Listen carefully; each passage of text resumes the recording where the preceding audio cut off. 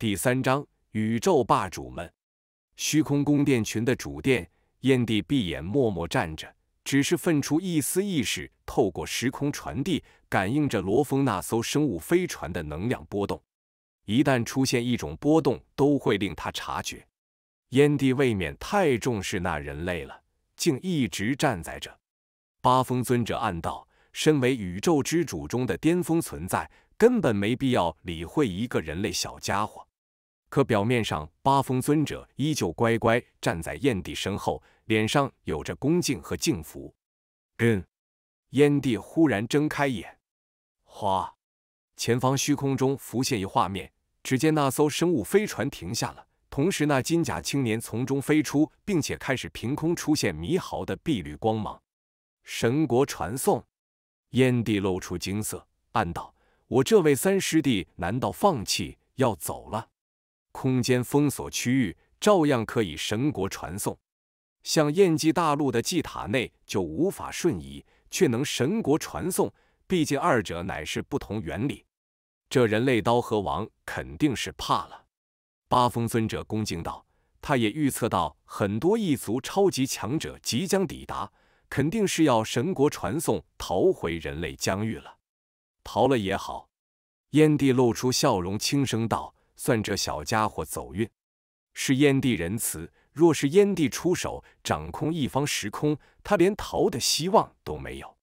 八风尊者道：“燕帝只是微笑着看着那画面，没辩解。”嗯，燕帝面色微变。只见画面中，罗峰一挥手，一头丑陋的异族不朽出现，先是匍匐向罗峰恭敬行礼。而后，那头异族不朽跨入了迷毫碧绿光芒中，直接神国传送离开了。至于罗峰却没走，而是返回了生物飞船，继续乘坐飞船前进，没逃回去。燕帝皱眉，他派出一个奴仆回去干什么？在其巍峨身影身后的八风尊者也有些疑感。第一位异族强者到了，燕帝露出笑容，转头看向另一处虚空。透过一层层虚空阻碍，令数万光年外的场景悬浮在眼前。那正是一名腹部为银白色、背部为青黑色，且生有两翼的巨蛇。巨蛇额头生九角，角都有分叉，且是弯曲的，仿佛枝条般。九角缠绕，好似王冠。他的一双碧色掺杂丝丝金光的眼眸，阴冷扫视虚空，似乎感应到燕帝的注视，微微垂下脑袋。表示对燕帝的尊敬。妖族的协议教主八风之主说道：“是个有野心也很有实力的宇宙霸主。”燕帝随意点评道。忽然，他又看向另外一方向，虚空荡漾，浮现画面：一名手持着黑色权杖的泥洼族老者出现。泥洼族老者也感应到注视，也微微躬身表示尊敬。泥洼智者，燕帝轻声道。最先赶到的两位都不一般，第三位来了。燕帝看向另一方向，眼前虚空将遥远数十万光年外情景浮现。那是一长相俊美、类似人形，头上却有着两根比大腿还粗的弯角，弯角仿佛辫子般缠绕着神体。一双碧蓝色眸子，仿佛星空的眼睛，直透灵魂。这一族强者也微微欠身，麻沙尊者。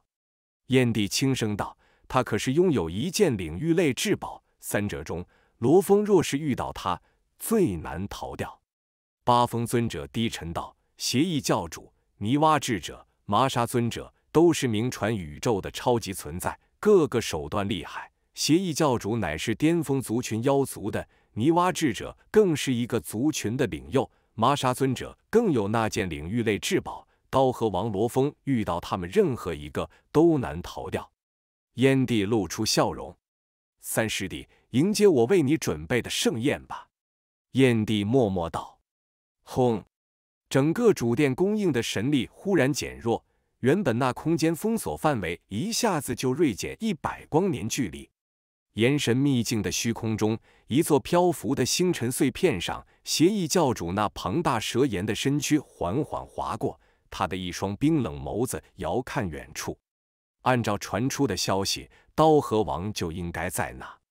邪异教主发出宛如两颗星球彼此撞击的极低沉声音：“刀河，你的至宝都是我的。”错，直接瞬移，迅速逼近过去。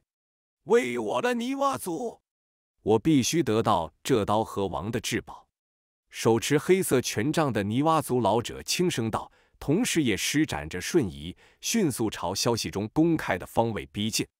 我有领域类至宝。如果再有灵魂类至宝、飞行宫殿类至宝，就算宇宙之主想击杀我也不容易。妖异俊美的麻沙尊者抚摸着自己弯曲的长脚，一迈步便也瞬移而去。燕帝放出消息，令宇宙各方势力都知晓，因为传播太广，一般宇宙尊者根本不敢插手。加上宇宙霸主手段更强，导致最先赶到的三位都是宇宙霸主。生物飞船减速停下，空间封锁消失了。罗峰站在虚空中，看着前方无尽雾气，宇宙能量实质化弥漫。我这位二师兄怎么会好心的关闭空间封锁？罗峰闭上眼睛，细细感应，他魔杀族分身论对空间感应丝毫不比宇宙尊者差。循着空间波动，一直朝焰神族方向延伸探查开去。清晰感觉到近百光年外的空间波动完全停止，并非关闭，而是缩小。不管你耍什么手段，缩小空间封锁范围，倒是让我省去过百年飞行时间。罗峰挥手收了生物飞船，同时一迈步便瞬移而去。在罗峰瞬移的几乎数秒钟后。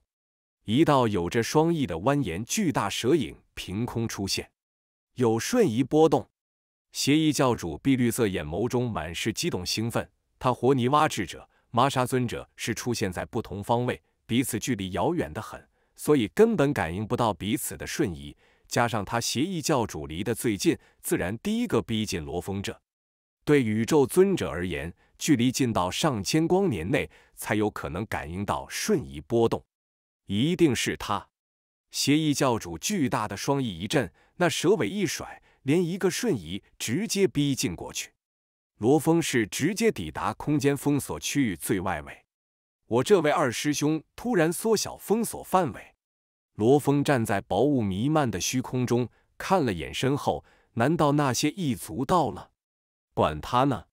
罗峰化作一道流光，直接飞入空间封锁范围内。轰！在罗峰飞入空间封锁区域内时，邪异教主庞大身影出现。他一眼便看到远处那道流光中的身影。人类刀河，邪异教主那极低沉的声音在神力传递下直接传递而去。错，邪异教主迅速追过去。罗峰保持着接近光速，在元神秘境中飞行，回头看了眼后方追杀而来的邪异教主。你追不上，罗峰瞥了眼，人类刀河，你逃不掉的。邪异教主在后面追着，罗峰根本不理他，依旧保持着近光速直线飞行着。这已然是最高速了，若是速度再快，就达到光速进入暗宇宙了。要知道，焰神族周围一片范围的星空的暗宇宙坐标是完全被遮掩的。一旦进入暗宇宙，那就要浪费很多时间。法则领域，邪异教主忽然施展开法则领域，只见周围上亿公里瞬间陷入时间法则领域中。罗峰也是如此。轰！罗峰神力燃烧，气息滔天，速度依旧保持近光速，丝毫不减低。单单凭借一个法则领域根本没用。罗峰瞥了身后邪异教主一眼。忽然，连续两股强大波动出现，令罗峰震惊。不好，还有其他追杀者。邪异教主也感应到不妙，回头看了一眼，只见两道强大气息一前一后迅速追来，正是泥蛙智者和麻沙尊者。他们俩一前一后瞬移抵达后，也冲入了空间封锁范围，也在后面追着。罗峰逃，三位宇宙霸主追，可在空间封锁范围内。都无法瞬移，哈哈！老泥娃，协议，这里可是空间封锁区域，你们的法则领域最多影响这刀河王，想要击杀他、困住他却远远不够。看来运气是在我这边，上天是钟爱于我的，灵魂类至宝也是我的。在最后面的麻沙尊者却是哈哈大笑。九千万沙河玉成，麻沙尊者声音轰隆，在协议教主泥洼智者耳边响起。只见上亿公里内的巨大球形区域弥漫着无数的沙粒般物质，一颗颗微型沙粒坚不可摧。虽每颗微型沙粒的威能极弱，可无数沙粒汇合，那威能简直能轻易湮灭一些宇宙尊者。可恶！邪异教主双眸满是怒意，遥遥看着那麻沙尊者。麻沙，这至宝也有我一份。麻沙尊者，别太毒了。泥娃尊者也看着后方远处的麻沙尊者，该是我的就是我的。啊！可恶的老泥娃，你竟然敢攻击我！麻沙尊者那俊美的脸蛋上满是怒火。没用的，你灵魂攻击手段还不够，最多影响我罢了。不跟你们俩啰嗦了，人类刀河死吧！宝物归我吧！随着麻沙尊者的操控，轰！无穷无尽的沙粒，每颗都散发着点点光芒，疯狂朝罗峰聚集。随着无数沙粒汇聚，威能不断叠加，形成了一道巨大的沙粒漩涡，直接席卷向罗峰。三师弟，你那几件至宝被夺走，可别怪二师兄。谁让你想要这解甲的？燕神族虚空宫殿群主殿内，燕帝观看着这一切发生。